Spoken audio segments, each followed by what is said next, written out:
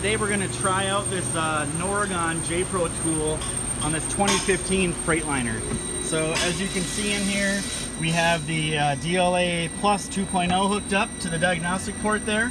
This has got a little splitter for Qualcomm or something going on. But we're hooked up to our laptop out here. So uh, we're actually already hooked up to it. It's a very quick hookup. I'll hit disconnect just so you can see. So we'll disconnect from it and then we'll hit the connect button and the great thing with Noregon, it's really easy to hook up. So just basically pick what adapter we have and it does the rest by itself. So it takes about 45 seconds-ish at the most in order for it to hook up. So we're already communicating there, it's starting to populate. As you can see on the left, it's already found all the different modules that you can see on this particular vehicle. They're nice, clear, easy to use. Up here we have all of our codes that we can see. So if we go on the left over here and we pick like Detroit, it'll take that list and filter it down to only engine repair information.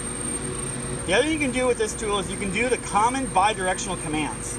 So let's go up here to bidirectional and click the button. And these are the commands you can do.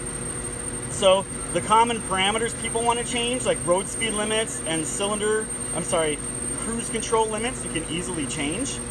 Uh, DPF park regeneration. You can definitely do DPF regens on all the class 8 heavy trucks.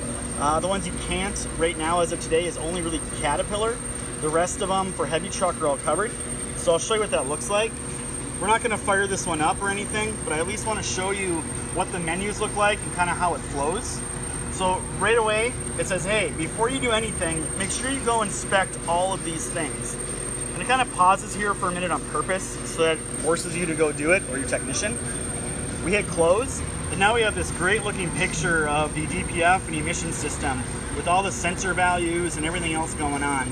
Uh, so it tells us our soot level, if our engine's derated, if we're inhibited at all, or if any emission lights were on, they'd be populated right in there. And all you would do to start it is you would simply go down here to start DPF regen, and away you'd go.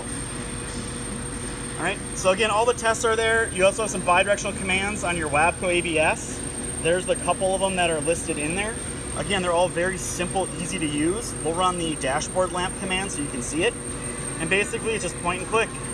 Turn it off and turn them on. It's toggling the uh, ABS lights up on the dash right now for everybody. So we'll hit exit, we'll go back, and you can do all kinds of other things with this. You can monitor your live data, you can print out great looking reports, complete vehicle health reports. It's just a, it's a great overall tool for someone that's looking for great heavy duty truck coverage, plus the ability to kind of scan everything else. Thank you for watching.